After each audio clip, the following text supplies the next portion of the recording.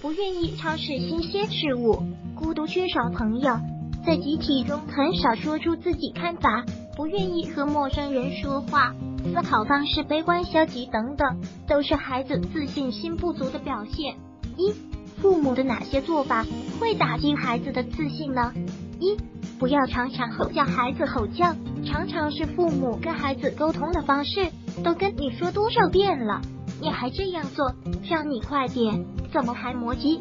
这些语言暴力让孩子变得畏首畏尾，不敢尝试，越来越胆小。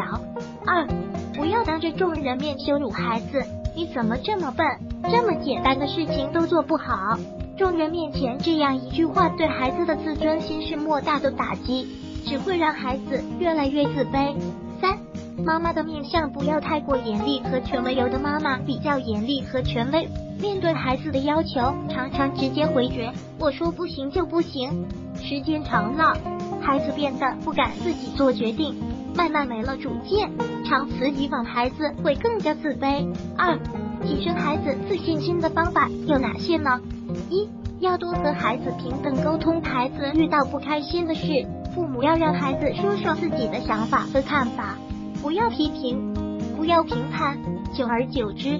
孩子有什么事都会和你分享，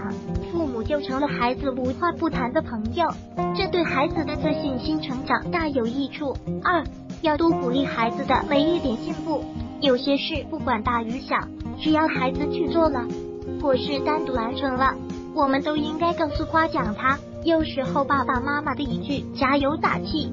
或一个大拇指，比什么灵丹妙药都管用。当孩子在生活中做好一件事的情况下，要积极肯定孩子的成绩，放大孩子的优点，这样孩子也会越来越想表现自己，越来越敢于面对更新鲜的事物，自信心也会大幅度提升。三，让孩子感受成功的体验。可以先从简单的小事做起，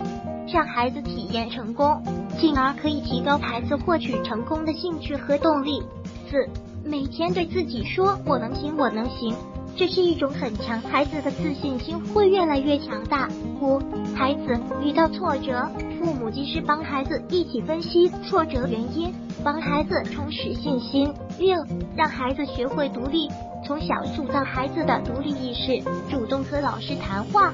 独立完成家庭作业等事情，家长有时低估了孩子独立性，同时也打击了孩子的自信心。自信是使孩子前进的原动力。我相信，只要父母们做到上面这几点，都会拥有一个自信阳光的孩子。反而，父母一句随口的负面表达。都可能给孩子带来严重的心理创伤，让孩子在以后的成长，孩子多沟通和多鼓励，胜过许多灵丹妙药。如果喜欢本视频，请分享并订阅本频道。